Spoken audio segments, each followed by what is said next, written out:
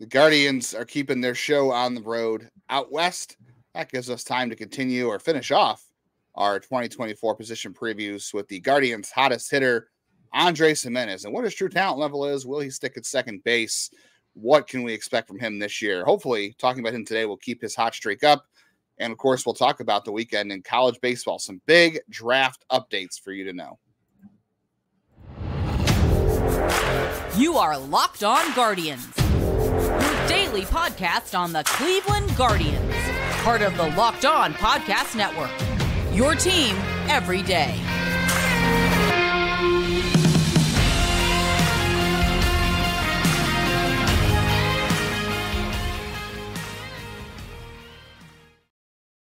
Hello, everyone, and welcome to the show today. We're going to bring the heat more than Triston McKenzie is so far in this game. I am Jeff. Over there is Justin. Uh, want to thank everyone. Remind you that uh, we are. You know, thank you for making us your first listen today and every day, wherever you get podcast. And remind you that we have your team covered every day. I'm Jeff Ellis, one of the co-hosts, one of the first people they ever brought in when they decided to do baseball podcast at Locked On. Before that, I was at Scout and 24/7 as a draft and prospect analyst. And if you have a blog you like, I probably wrote for it at one point in time.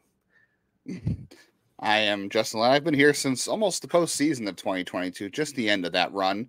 Things went downhill from there, so maybe this is all my fault. Who knows? Things are getting better. Uh, I've been covering the Indian slash Guardians minor league system since 2007 for also every blog you can think of. For a couple years, I was the managing editor of Indian slash Guardians Baseball Insider after Jeff was long gone doing other fun things and now we're here together, and I still cover the Guardian system uh, freelance basis for a bunch of other places.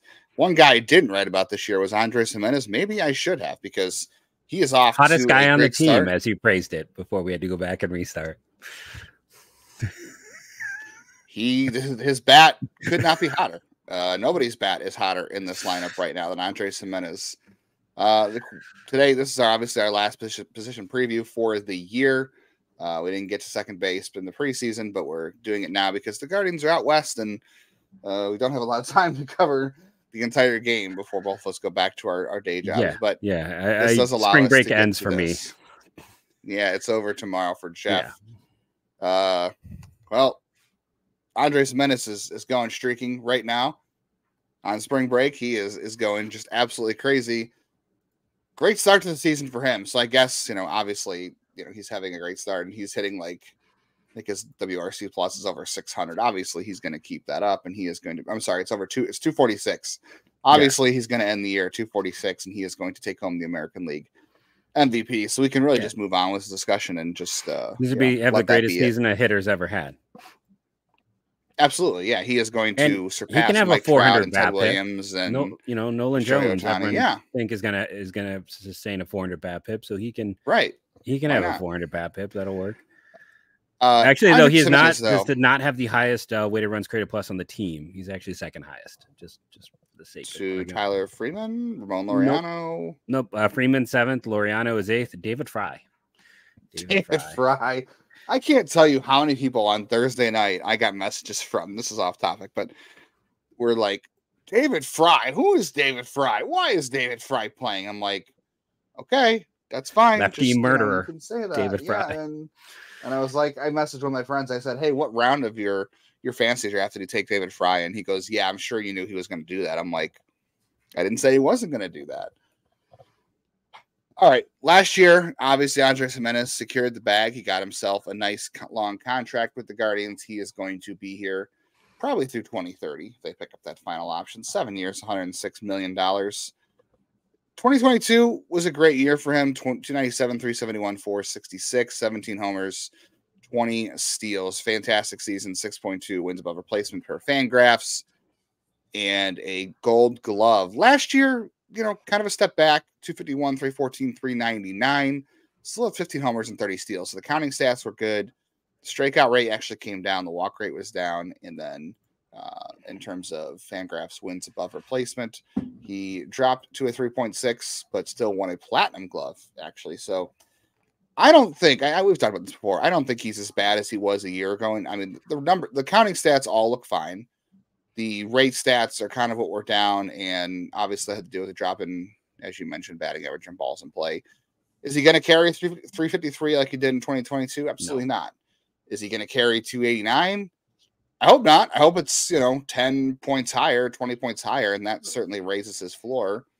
Um, I don't I hate to say it'd be boring and say the truth is probably somewhere in the middle, but I think that's where it is. Well, Dominic Canzone just had a local moment to remember to interrupt the show. Um, we're we're having the Triston McKenzie of a few years ago where the he he's walking too many guys and that leads to trouble. And then four nothing Seattle. That's that's if you see in my face, that's what just happened. Uh, so no one's gonna listen to this show. No, no, this is gonna be bad now. Because no one's gonna watch. I mean, it, it well, man, we don't have time to talk about McKenzie right now, but control down, velocity down. You just worry about not, you know, avoiding surgery a year ago. It, it was that the right call? I, I, don't know. Right now, he does looks like a shadow well, where he was. We're not going to jump off the cliff after one game, are we? I know, I know, but it is it is really ugly. And we're not here to talk about Triston McKenzie no. today. We're Let's get back to the positive. Gimenez, somewhere in between those two years, I think, is where we both lead to. Um, Which is what the projections suggest. Yeah. I mean, if you look at ZiPS, ZiPS has him at 4.7 this year with a 115 WRC plus, 14 homers, 25 steals. That that sounds about right. I will say the encouraging thing so far this year for him is a early. It's early. It's early. It's been four games, but the exit velocity is up from a year ago, and that's important because he did have one of the lowest hard hit rates in all of baseball. The thing, I think the thing we're finding out too about hard hit rate or or just exit velocity in general is that average exit velocity is kind of a terrible number to judge things on because a number of things can happen on batted balls. You know, you can go out and just hit some really weak weak balls out there, and it's going to bring your entire profile down. But if you're a guy who can consistently average, I don't want to say average, but if you can reach, you know, anywhere so between 10 over 90th percentile is sometimes often used more than just the overall one. Just yeah, like which we don't get on Savant, but that that tends to be the stickier stat in terms of yeah predictability. And and Gimenez last year was at 102 in the ninth percentile outcome for for exit velocity, which is fine. Is it you know Aaron Judge? Is it Giancarlo no. Stanton? No, of course not. But it's it's more than enough to be a good hitter in the major leagues if you're getting over 100 consistently. So I I'm curious to see if he keeps this up this year. If his if his exit velocity, which I think is up three or four on average, if that continues to stay there, that can allow him to carry a higher average on balls in play, which is going to bring your base level of offense up. It's going to keep your your average up. And, you know, again, it's early, but he's got two walks and, and no strikeouts. That's a good sign. Strikes his strikeouts were down a year ago, and the walk rate he hasn't slid down, into first base at all. That's true. Yeah, that's clearly he went to the school of Jeff over the offseason. Yeah, it's not, it, you know the slide with that contract. And listen, he had a bad year, but he was still about league average with the bat, and while being an exceptional defender. The only way this guy isn't the next, you know, the current and future for the next five to six years at that position is if um, he moves to short. I think that's it. Like th- he's gonna play because of the defensive value. So it's like, and especially without they're paying him. Yes, they got rid of Myles Straw, but there's a little bit of difference between those contracts. So he is your second baseman. You know, it, I expect him to be a guy who most years is about a four and a half win player, with a lot of that coming from defense. Um, I, I don't know if we'll get another six six is exceptional. Like that is like borderline MVP candidate. So I think everyone rightly knew that that was unsustainable to that degree. And again, that's why we talk about the BABIP for a lot of young players to see how, what's going to occur. But the, the tools are there for him to be, you know, a solid contributor to this lineup, a guy who maybe should hit a little higher. We, we heard why he wasn't hitting as high for lineup balance, but you want your best hitters to get the most at bats. So yeah, so far he is mostly hitting second right yeah. now. I mean, they moved him down to seventh against lefties, which is which is really silly. Yeah, I think that Gimenez, the contract, obviously, I know some people aren't happy with the contract. I think it's a fair contract for what he's going to give you. He is going to give you stable defense. He still mm-hmm. works out as a shortstop, so if he needs to move there, he becomes even more important to you, um, to the franchise if they decide to move him to sec to shortstop, and and if Rocchio Arias doesn't work out and they you know, if it's if it's Brito or if it's Martinez or you know whoever at second base. Bazzana. If it's Bazzana, yeah, that's a great combination. JJ Weather, obviously. Yeah, uh, no, that's a little less fun to think about. Um, he becomes even more important to you. I would argue, in terms of offense, not just offense, or not just you know, if we're looking at just position players, not pitching, he is probably either to me the second, maybe the third most important player on the team in terms of position players because you obviously have Jose as the most important, right?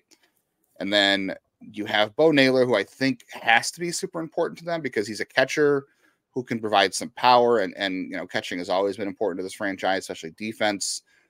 That's an important piece for them to have a young all-star catcher, possibly. I would say Gimenez is right up there in terms of importance for this team because he is a great defender at second base. He's got a long contract, so he has to be important to the team in terms of his, his output. Um, but he can do everything. You know, he hits, you know, he's a 2020 guy potentially, plays great defense. He could play shortstop. He hits lefties. Like he doesn't need to be platooned. You don't need to move him down the lineup if you don't have to in terms of facing lefties. So he is just to me such a complete player that his importance to this franchise has just gone up. And I think it only will continue to go up. Yep. And on that note, I think we should come back and talk about some of the young players in the system who might, you know, cause him to shift if no one can uh, nail down shortstop. Yeah, there aren't a lot, but there are some. We'll talk about that. We'll talk about some second base draft prospects. And of course, we've got the college baseball weekend update all coming your way. And first, we're going to talk about our good friends over at Fi- Amazon Fire Channels.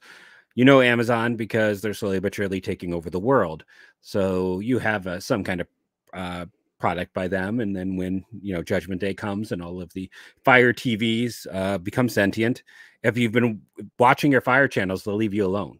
That's that's not in the ad copy. I'm just throwing that in. That when the sentience comes for Fire Sticks and Fire TVs, um, those who watch Fire channels will be saved. Uh, now, in all seriousness, go check out Fire Channels. It's a constant supply of free content, favorite sports bands, sports brands like Locked On. You can go watch us on Fire Channels, but just not sports. It's not just sports brands. You can watch, you know, college baseball uh, content, big leagues, pro college conferences have content on there. And it's going to allow you to dive deep into all that. There's news, entertainment, gaming, travel, and cooking videos.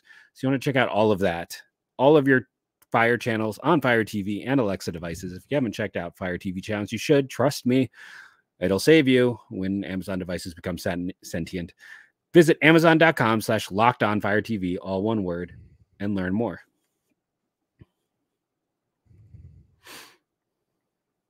That is incredibly dark. I was, it was, it was the weirdest ad copy I've ever done. I'm, I'm, pretty happy about that. That was uh that was not as prepared for today. Second base prospects. Don't get prepared for this. By the way, it looks like the uh the Blue Jays just got no hit. First no hitter of the year by Ronel Blanco of the Astros. So if you had uh Ronel Blanco uh as your first no Manga nearly had one today as well, right? Who did? Uh Imanaga from the Cubs. Okay, did he? Because I thought okay, it was a five inning game. It, it wasn't a no hitter, yeah. but I was saying he nearly had one uh, today yeah, Nolan Jones didn't have a fantastic day over there, unfortunately. One of those players, speaking of Nolan Jones, one of those guys that could play second base, maybe. I don't know. Uh, could be Juan Brito. And again, that's why I'm saying the value of Gimenez is so great because let's say that you know Cleveland has been been developing these in middle infielders for years to the point where we just haven't seen any of them until this year for the most part. We saw Arias and Rocchio last year, but barely have they gotten any playing time. And the importance of Gimenez is now with him in that contract and his ability is that he can move over to shortstop if you need to, if that doesn't work out. But the only way that's going to happen is if one of these prospects, whether it's Juan Brito, Angel Hernandez, um, Angel Hernandez, jeez, I hope Angel Hernandez is not Angel Hernandez. Angel Mar- no, Angel, no, Angel Martinez or Welbyn Francisca or or Travis Bazzana, which we'll get to if he moves over there. Um, it's only been a couple of games. I will. It's been two games, but Juan Brito has looked a little better defensively. That's really the rub. I think. I think Juan Brito is going to hit enough. I just don't know where he ends up defensively. That's going to be the whole thing with him. Is can he stick on the infield defensively? Because I think I think the bat's there. I think the approach is there he can be a good league average hitter. He can take his walks. He's got some pop because he pulls the ball in the air pretty consistently and, and with good skill. Um, I just don't know whether or not the defense will stick on the infield. That's the biggest question. Will he will he be a left fielder? Which, hey, if he's your left fielder, that gives you room for Travis Bazzana at second base, and Gimenez goes to short anyway. Yeah, or or he's a future DH rotation guy. We'll have to you know, see how things uh, play out with him. But uh, he's the only guy who really stands out to me. Uh, Martinez was was the story of camp, but it, it was a rough year a year ago. Um, he's just a guy that kind of strikes strikes me as averages at best across the board. Maybe maybe I'll be proven wrong. I'd love to, but uh, you know, right now I think it, it's kind of Brito or bust. I mean, there are some other interesting guys, and I can easily be proven wrong. And you could easily probably even convince me I I, I have a, a bad take with this, but you know, it, you have to unseat or cause this team to unseat um, Gimenez, and they're not going to do that unless you can do something that's going to be enough to convince them, like, you know, e- either the whole package or offensively, that shifting him is worth shifting him. Not only that, but also that relies on again one of Rocchio or Arias to fail Both, shortstop, which you know, Yeah. obviously, yeah, both. So you know, obviously, the hope is that doesn't happen, and then you know, Brito may not be an infielder anyway, and maybe Martinez. I, I expect Martinez to play a lot more outfield this year in AAA when he gets healthy. By the way, some utility guy. clarification. Yeah, some clarification. So he is on the major league injured list right now. He is not on the minor league injured list because that injury occurred in spring training before they optioned him back to AAA or the minors.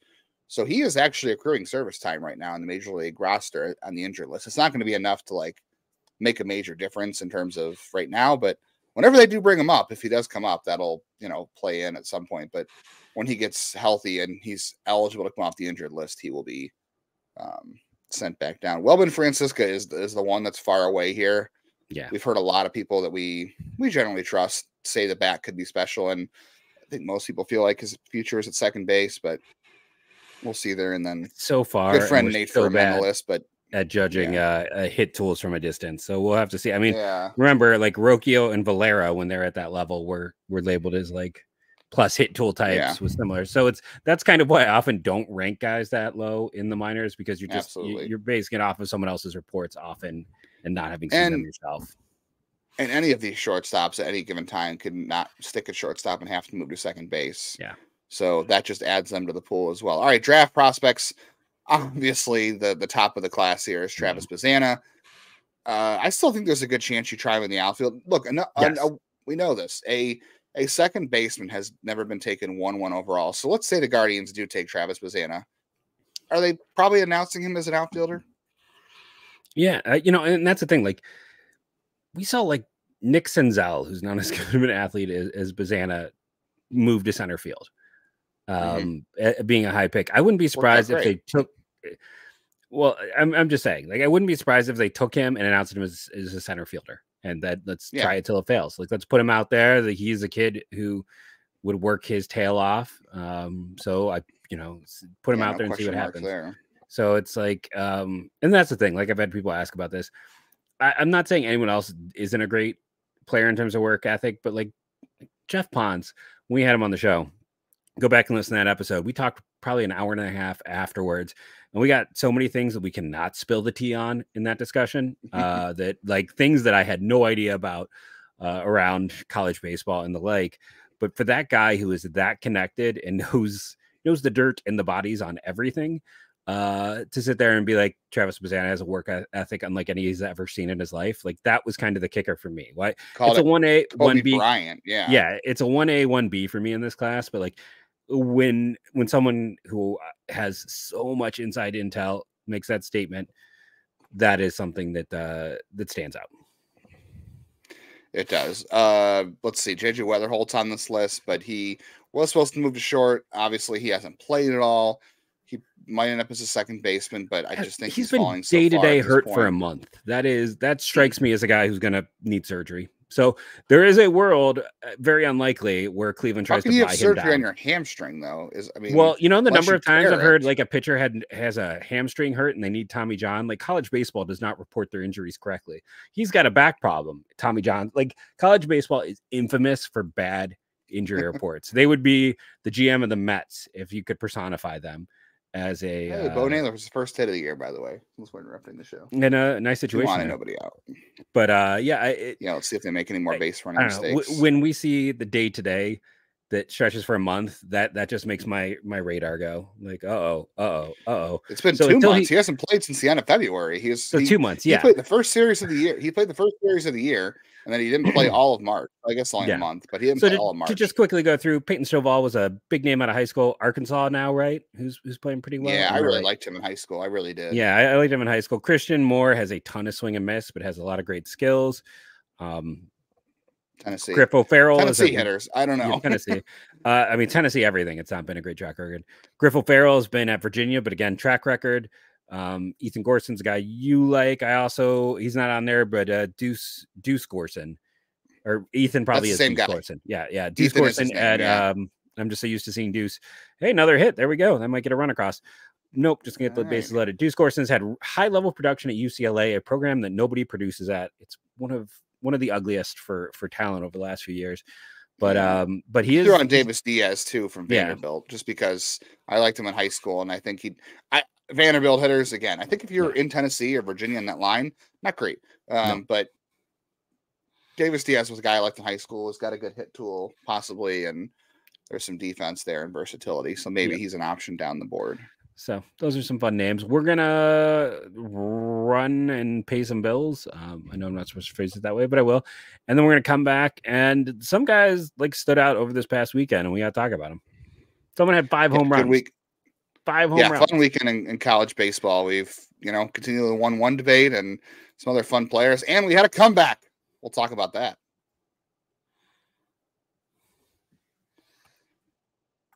get in on the action on FanDuel. This is a great time. You've got the women's Final Four, which I think Iowa's moving on. That's a fun one. They're coming to Cleveland. Um, the NCAA Final Four is obviously going on right now. It's baseball season. The Masters are coming up in two weeks. March, I'm sorry, April now. March is a loaded sports calendar. April is as well. We got NBA playoffs, NHL playoffs, all coming up this month. This is a great time to get in. If you're a new customer, you haven't tried FanDuel yet, go in there, throw five dollars down on a bet that seems like a slam dunk. Maybe maybe it's a low payout. Maybe you're taking something with really really bad odds, and you're thinking, why would I do this? Because I'm going to make put five dollars down and win three, big deal. But if you do that and you win, and you're a new customer, you get two hundred dollars in bonus bets from FanDuel. That's two hundred bucks you can use on MLB, NBA, NCAA, NHL, so much more. Visit FanDuel.com slash locked on. Make your first bet a big win. Get in there before the final four. FanDuel, America's number one sports book. Sorry, that was my DP face. Luckily, it didn't happen. Kwan legged it out. Um, jeez.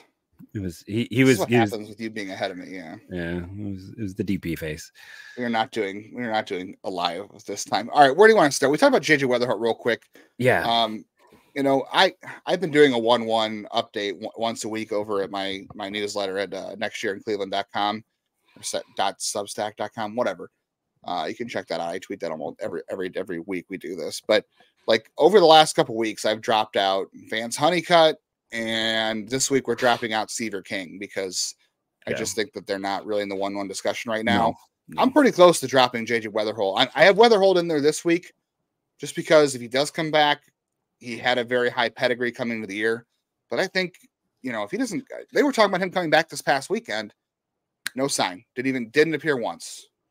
So no, you know, how close are we at this point? There's still a lot of time left. Like you have all of April, you have May, you have part of June, if depending on how deep West Virginia gets, if they get deep, he might have April and May really to play, right? Like, at what point does yeah. he need to come back and start playing in order to get into one back into one one conversation?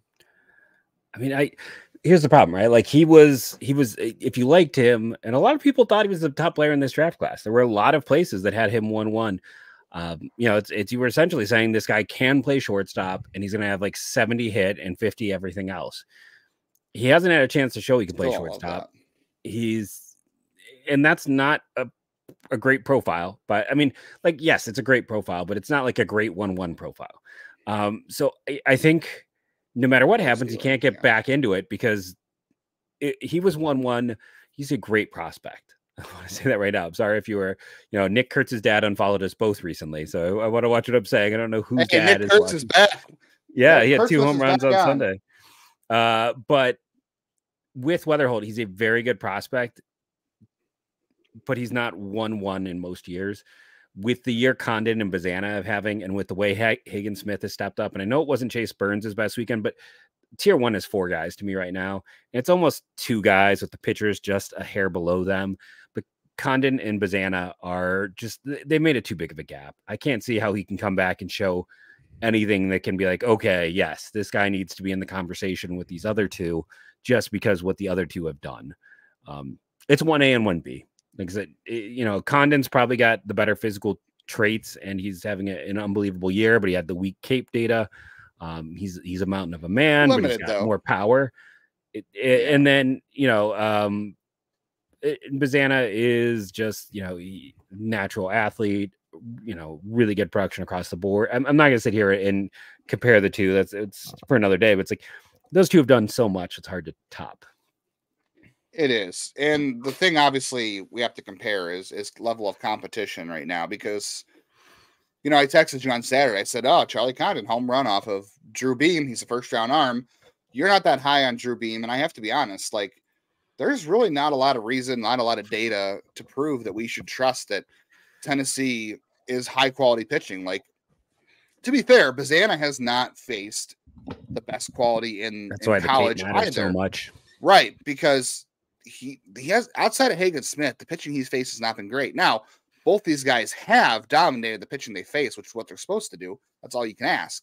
So yep. we can say equally, neither of these guys have faced pitchers that are uh, other than Hagen Smith, and obviously Hagen Smith dominated that matchup. So it's also might not a great pitching to, class. So there's not a lot of great guys for them to face.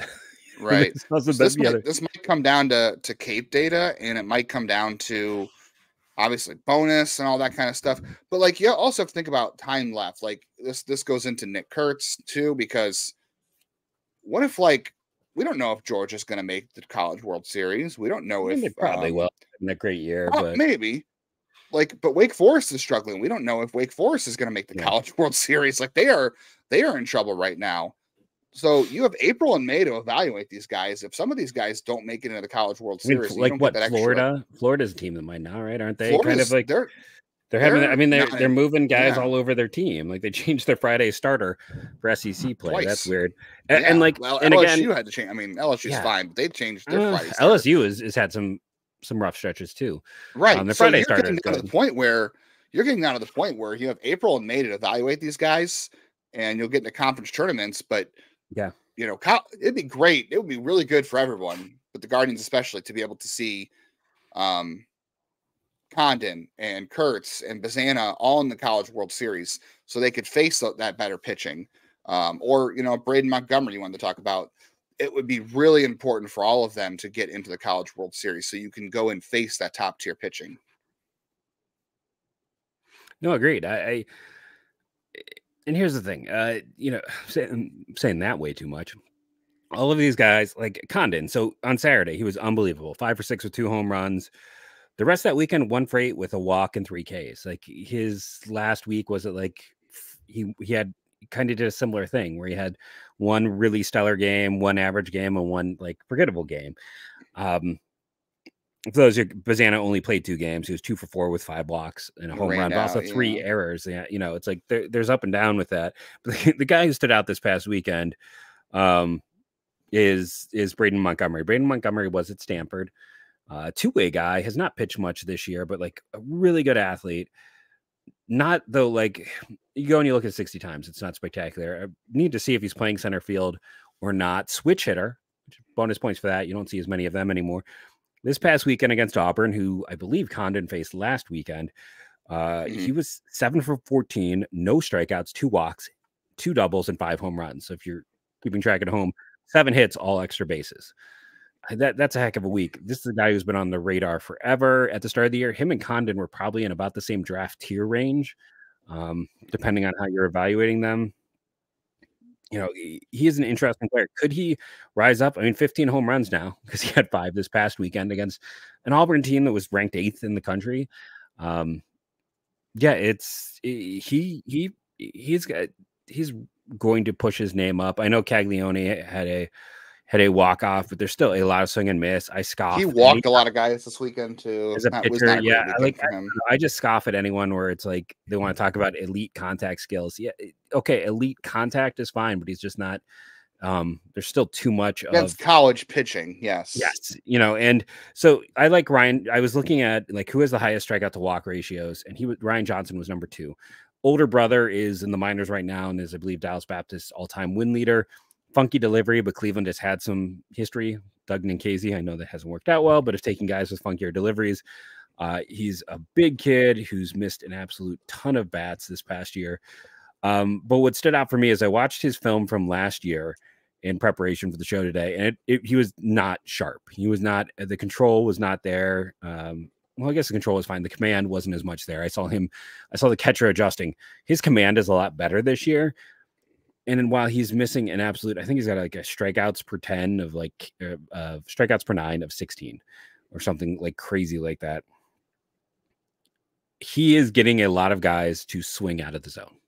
He makes guys expand the zone. Now, is that is his stuff going to be good enough to do it once he's not pitching at Dallas Baptist? I don't know. Like you know, was New Mexico. I was watching New Mexico and Texas A and M Corpus Christi, and this is kind of what I'm talking about. Where like the other side of the Cags thing, where it's like Ryan Johnson is is killing teams, like a walk rate under two, a strikeout rate, I believe, again over 16. Um, but the level that he's facing is why he can do that. Not to say the stuff isn't good. I mean, it's a potential. It's the slider looks amazing. He's got four pitches. It is just a very weird delivery. And there's going to be a lot of people who think he's more of a reliever. Uh, probably going to go somewhere in the second, maybe early in the second. I like him, um, but I can totally see like you know supposedly he can hit. A, he's touched 100 in the Wow. numbers there, but with a lot of these guys, I just want to stress that like he can be successful because he can put the zone outside, and guys aren't used to seeing pitches like he throws, and they swing at it. It's not always as effective, and that's where you kind of have to evaluate who is effective in the zone, who's able to make good contact decisions in the zone. We didn't have time today for Dakota Jordan, but he's second in the nation in strikeouts amongst qualified hitters and third in walks or first in walks. Like you have to look at things like that. Absolutely. Dylan Dreiling, a nice weekend for Tennessee as well. I know there were some good evaluations Continues on him. perform. Yeah, he's going to wind up being a day one guy, possibly. And then, hey, Agreed. Nick Kurtz. Kurtzmas is back on. Two dingers on Sunday. Wake Forest needs to get in the tournament so they can he can play longer and make up for lost time. That's all we got for today. We Yep. have run out of time. We'll be back tomorrow. We'll talk about the game one win over Seattle. They're going to come back, so we'll talk about how the offense came back and Nick and uh, Nick Kurtz. I almost said Nick Kurtz. Triston McKenzie settled down. Yep, four two right now as we leave you. Thank you all for watching. Thanks you to was it Ashbury Collins who left 40 million uh, comments. We appreciate each and every one. Supposedly that helps with the algorithm. But thank you to all of our everydayers. Thank you to everyone who joins us. Uh, hopefully this game will be turned around. We'll have a fun talk tomorrow. Thank you all and go go Guardians.